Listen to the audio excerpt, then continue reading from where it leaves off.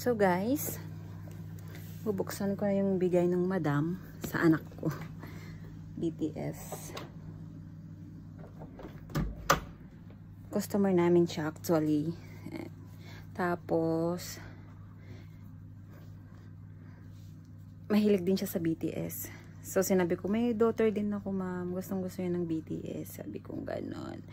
So, sabi niya, ah, talaga? Sabi niya ganon sa akin, yes, ma'am.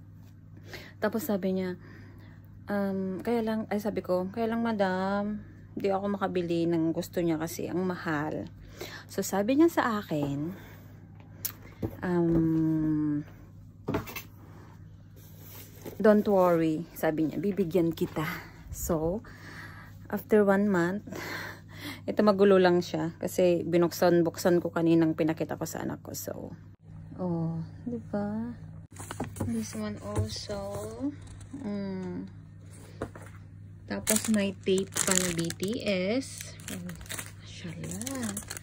And this one, a lot of picture. Ayan. Then, this one, CD also. Yan po. Tapos may mga ganyan, ganyan. Hindi ko kasi afford bumili ng mga ganito. So, kung pambili ko ng ganito, bili ko na lang ng pagkain nila, di ba? Yan. Ito pa po. Yan. BT, BTS. Yan. Love yourself. And this one also, it's a concert. Yan. May ano din yan. Tapos, this one.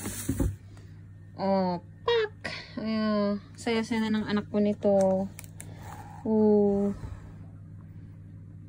Diba? Oh, oh.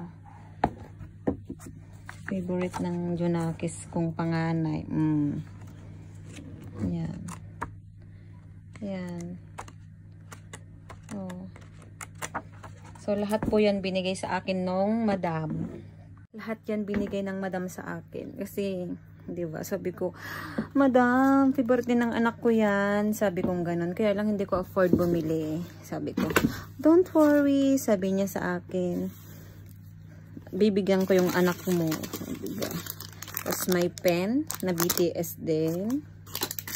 Tapos, ito. Diba?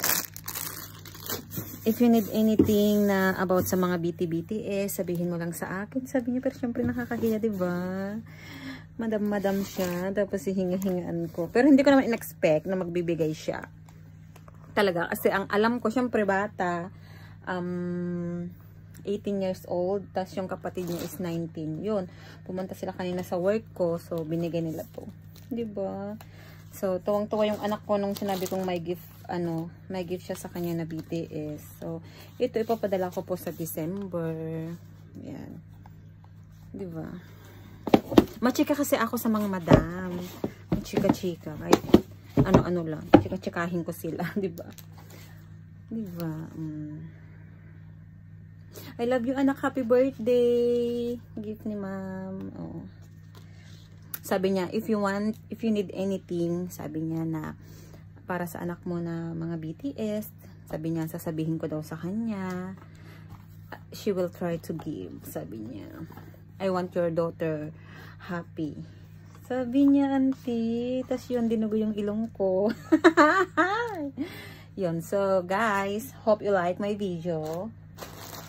Uh, please like and subscribe my YouTube channel, please. Manood naman kayo, ah.